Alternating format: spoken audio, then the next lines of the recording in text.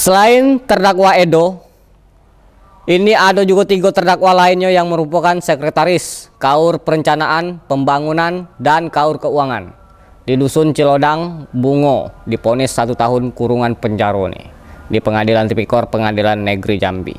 Jadi di sini sudah kita belajar lur, jangan macam-macam.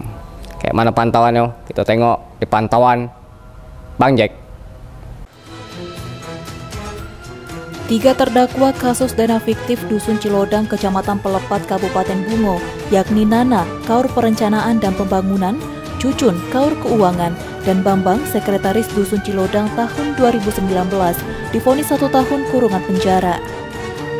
Di persidangan yang diketuai Hakim Yandri Roni, menyatakan para terdakwa terbukti secara sah dan meyakinkan bersalah, melakukan tindak pidana korupsi secara bersama-sama sebagaimana diatur dan diancam pidana pasal 3 junto pasal 18 Undang-Undang Nomor 31 Tahun 1999 tentang pemberantasan tindak pidana korupsi.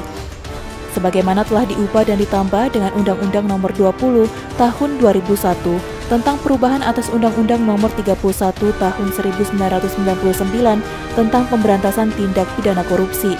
Junto pasal 55 ayat 1 ke 1 KUHP sebagaimana dalam dakwaan subsidiar. Dalam amar putusan, tiga terdakwa tersebut juga dikenakan denda sebesar 50 juta rupiah subsidiar 3 bulan kurungan penjara. Para terdakwa telah mengembalikan kerugian keuangan negara ke kas dusun Cilodang yang diperhitungkan sebagai pembayaran uang pengganti, maka terdakwa telah membayar seluruh uang pengganti yang dibebankan. Dalam dakwaan, para terdakwa diduga melakukan korupsi pada kegiatan pembangunan, rehabilitasi, peningkatan sarana prasarana jalan desa berupa turap dan drainase tahun anggaran 2019 dengan nilai anggaran 519 juta rupiah.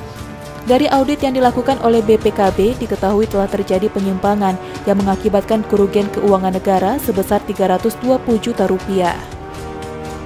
Iqbal, JEK TV, melaporkan.